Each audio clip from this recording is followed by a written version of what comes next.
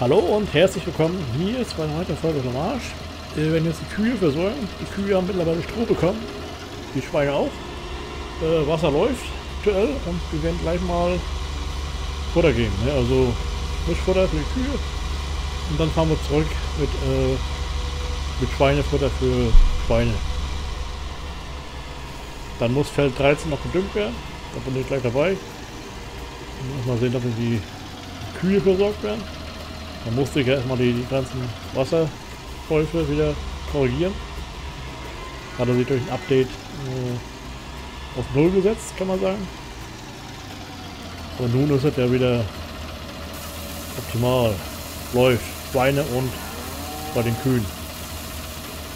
Das Futter war, war schon im gelben Bereich und morgen früh wäre das äh, sicherlich äh, Rot, kann man sagen, ne? Und das ist oder ganz weg. Je nachdem, wie, man, äh, wie lange man schläft, ne? Und das würde ich vermeiden, dass es überhaupt äh, rot wird. Ich müsste mal Heu nachkippen, dass es äh, zumindest ein Heu als Reserve haben. Das wäre auch äh, mal nicht blöd, kann man sagen, ne? Zumindest einen halben Anhänger oder Silage halt, ne? Mal sehen. Aber erstmal kriegen sie ihr Mischfutter, das fressen sie meistens zuerst. Rein vom logischen her ist das nicht logisch, aber sie würden eher Gras fressen. Ne? Also das würden sie gar nicht mal so sehr anrühren. Wenn Gras vorhanden ist, dann würden sie eher Gras fressen. Erst nur alle lieber frisches Gemüse, ne? Als, als hier. Na gut, bei Rohkohl oder äh, Weißkohl als, als Sauerkraut, naja, und Geschmackssache, ne? Ich vergleiche hinkt etwas, aber wie gesagt, das ist, äh, Man kann halt nur sehr gut konservieren, Silage und so, ne? Heu natürlich auch, ne? Weil Heu trocken ist, ne? Das ist ja ideale Methode. Man muss nur halt das richtige Wetter für haben, ne? Dann geht das drei, vier Tage muss trocken sein.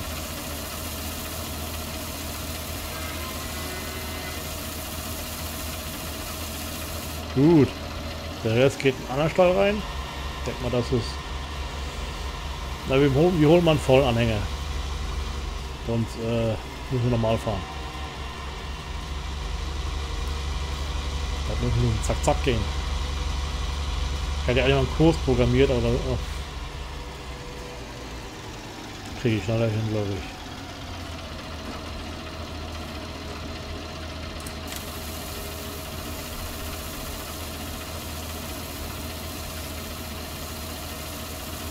Das ist ja jeden zwei Tag normalerweise. Und bei ist es so, wenn die sich vermehren, plötzlich mehr Futterbedarf da, ne? Dann ist schlecht, wenn nichts da ist, ne? Zumindest im Hauptstall, ne? Und der wäre ja voll. Jetzt gehen wir noch über die Kälber, da geht glaube ich nicht alles rein. Die haben einen kleineren Futterbedarf, weil die ja noch etwas kleiner sind. Jedenfalls von den Zahlen her. Ne? Von der Werte her, Statistik und so. Den Mist muss ich mal, ja, verwerten. Wir mal aus. Müsste eigentlich äh, Hänger voll reichen. Zum Glück brauche ich hier nicht putzen, ist immer sauber. Den Grund weiß ich aber.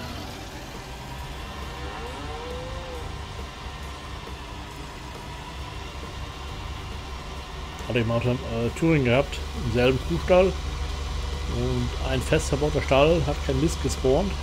Und dann habe ich in der Safe-Datei laut Anleitung von Castor eine Datei ausgetauscht. Ich selbst hätte es gar nicht gewusst. Und dadurch äh, ist am KI-Stall, also den Original, also fest verbauten Stall, äh, Mist gespawnt. Also erschienen kann man sagen, im Misthaufen. Und leider auch im Kuhstall, wo die Milch gab. Aber ist ja auch egal. So viel Zeit müssen wir haben. So, jetzt geht's noch einmal Schweinefutter. Da nehmen wir aber alles. Also voll.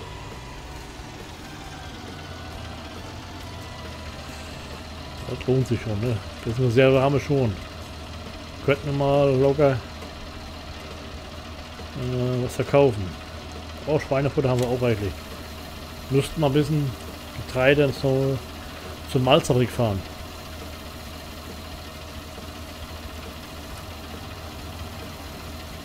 Wieder so viel Arbeit. Beziehungsweise alles zur gleichen Zeit muss gemacht werden. Ne? Produktion soll da laufen. Ne? Und bei der äh, sag schon. Bei der Brauerei geht die Malz zur Neige. Also müssen wir die Produktion wieder ein bisschen anfahren. Dann können wir garantiert bald noch Wasser fahren. Wir in drei Tagen bisschen was wir kaufen können.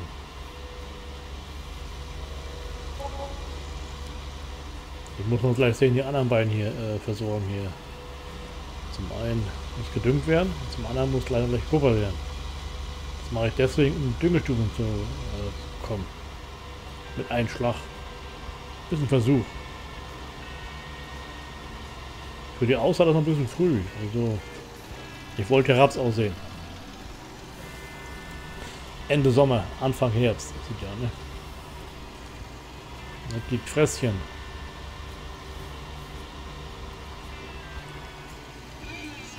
Genau. Meldet euch schon. Müsste ich hier auch noch ein Lager aufbauen für Schweine. Futter. Mal gucken, ob es einen gibt.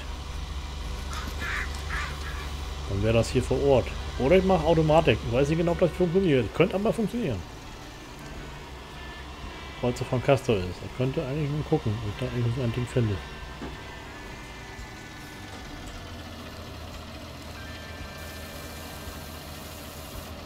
Ja, das war nicht viel. So.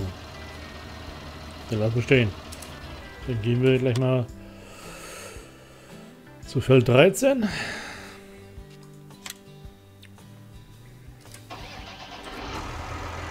Dann werden wir gleich mal düngen.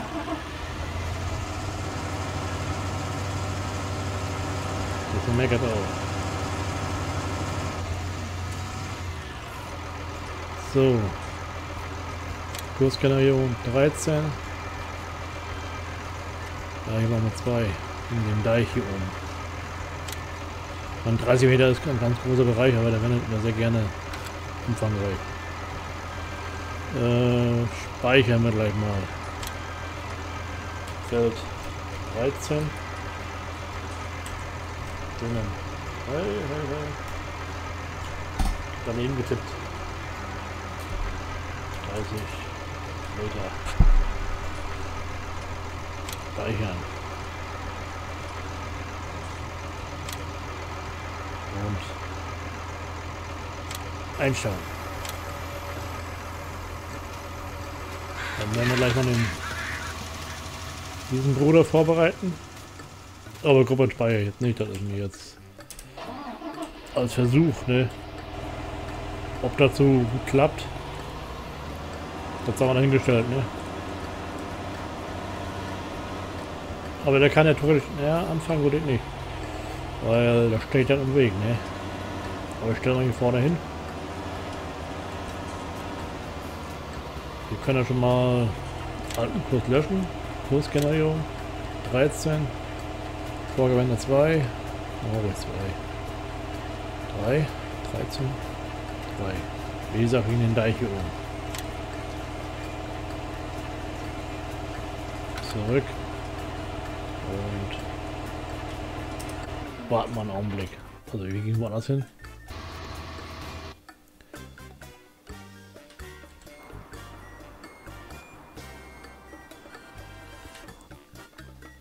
Dünger. Der ist wo? Ach hier. Okay, der flügt noch. Dann fahren wir den mal zurück.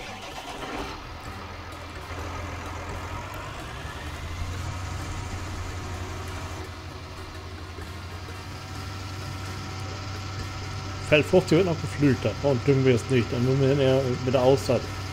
Äh, da wo Getreide war, kann ich jetzt ja eine Raps äh, einsehen, theoretisch. Das 50 wäre ganz gutes, gutes Feld. Raps habe ich noch äh, zu stehen, aber noch nicht reif. Wir mal. Ich wollte noch Zement verkaufen oder Ziegelsteine mal sehen. Oh, das ist so wichtig, das mache ich eher im Winter. Ja, so, geht weiter. Gibt einen schönen Dienstag, ne?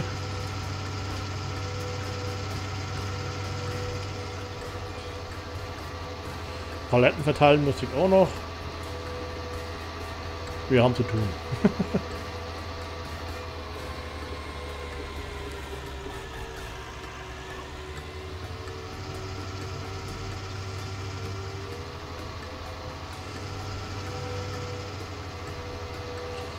Ich wüsste jetzt gar nicht, wo ich LKW stehen habe, mit Paletten oder so, mit leeren.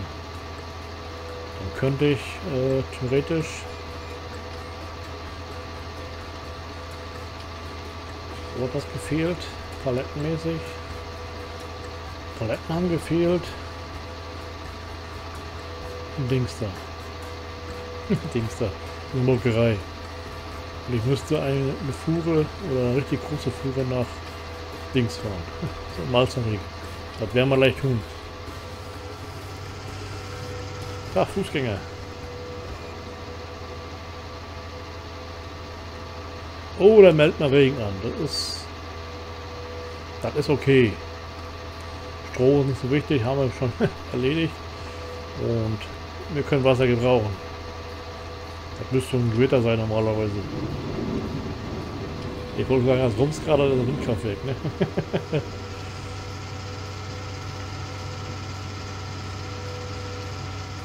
Ah, wie man schön sagt, das Tropf am heißen Stein, wenn du Temperaturen hast, ist überall heiß, der Boden ist ausgetrocknet, der ist knochenhart, äh, rein theoretisch, ne? Und wenn dann so ein Platzregen kommt, das läuft das meiste weg. Aber gut. Wir haben mal hier Flachland, das ist hier man die Gräben die täuschen. Ne? Normalerweise bei uns zu Hause im Dorfteich, wenn es richtig heiß ist, mehrere Wochen, dann ist der fast trocken. Dann reingehen darf es nicht, dann unten Schlamm drin. Ne? Im Grunde um Rast. Ne? So, der Anhänger kommt bei Dünger rein. Gar nicht lange überlegen. Da ist der blaue Anhänger, der wir gleich mal einmal Getreide, am besten Weizen, weil der will nur Weizen oder Gerste. Das heißt, hier werden Weizen drin, aber genug da. Das war im Lager.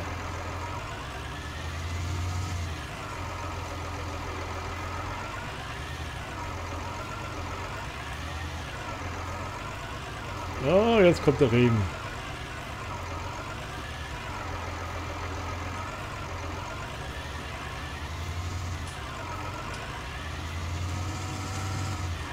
Hat keine Auswirkung, wir haben ja eh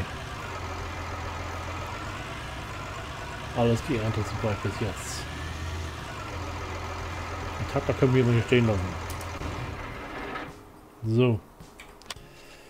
Dann gehen wir da hin und gehen zum LKW.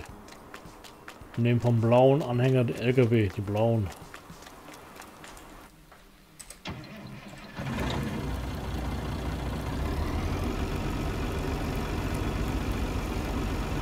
Wir haben aktuell keine, der große fährt, also von daher kann er noch stehen bleiben. Vielleicht wird er auch sauber.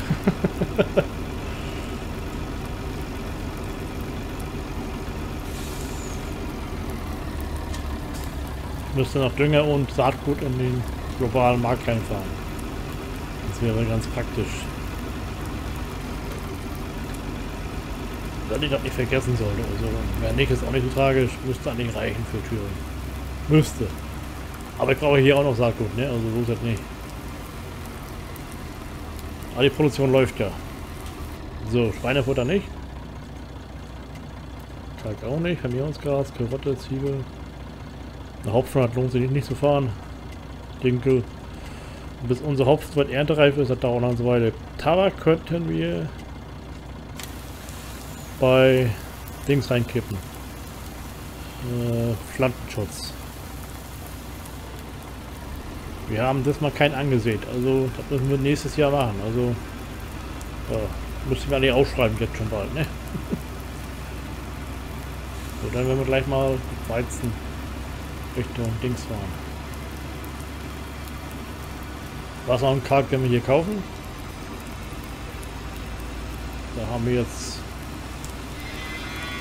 wo wir auch Kalk eigentlich, äh, ja, das so früh, das lohnt sich nicht. Also, das ist der erste Anhänger. Eigentlich aus dem Symbol kommen, ja, genau. Kippen ab. Wasser fehlt. Wasser soll ja billiger geworden sein, ne? Also kaufen wir mal. Normalerweise.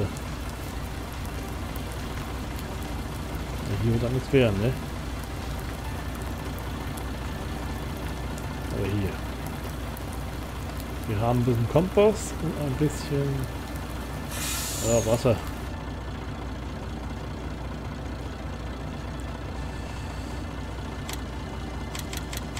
Wir kaufen mal ein bisschen. Wir haben jetzt Tabak, 200 Liter. Ne, 74. Macht er gerade Rechner. Das geht. Kalk nur 10%, da kommen wir noch weiter hin. Können wir jetzt Getreide holen. Wenn der Regen ist gut. Nur zu kurz. Aber wird schon werden, ne? So, liebe Schauer, das soll es dann auch schon heute schon gewesen sein. Wahnsinn, wie es dafür geht. Ja, dann sagt mal Tschüss. Ciao, ciao. Du brummst gerade, bitte. So, jetzt fahren wir los und zum Lager. Tschüss, ciao und dickes Danke fürs Reinschauen. Tschüss.